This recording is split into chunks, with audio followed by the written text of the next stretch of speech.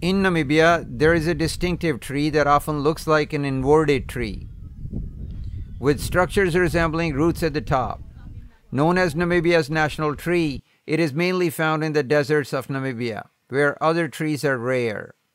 These trees grow well in areas with dolerite rocks, which are notable and less common. Quiver trees derive their name from the quivers used to hold arrows. Natives fashion these containers from the tree's branches.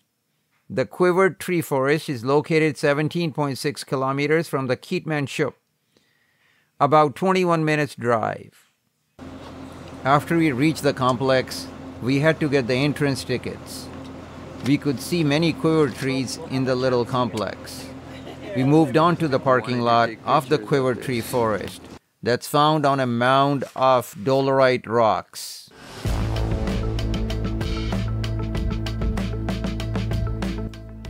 Although this forest contains only 250 trees, it's an area of volcanic origin with a notable concentration of these trees. Their succulent stems store significant amounts of water, enabling them to survive in arid conditions and providing a valuable water resource for desert animals. Quiver trees store water in their leaves, branches, trunks using shallow root system that absorbs water quickly after rainfall. They can also take in moisture from the condensed ocean fog. The bark of a quiver tree, often covered in a white powder, act as a natural sunscreen, helping the tree manage intense sunlight and prevent overheating.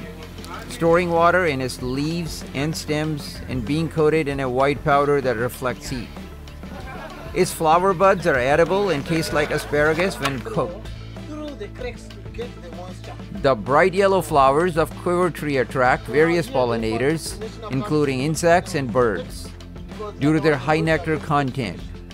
Additionally, the tree's branches and structures offer essential nesting sites for birds such as parrots, raptors, and sociable weavers. In otherwise barren landscape, quiver trees help form micro-ecosystems by providing shelter and perches. Quiver trees serve as valuable indicators of environmental shifts in the arid regions due to their remarkable longevity and sensitivity to climate fluctuations. Their remarkable resilience is exemplified by their ability to thrive in extremely harsh desert conditions, showcasing their adaptability and capacity to endure prolonged drought, extreme temperatures, and other challenging environmental factors ultimately making them a symbol of endurance in the face of adversity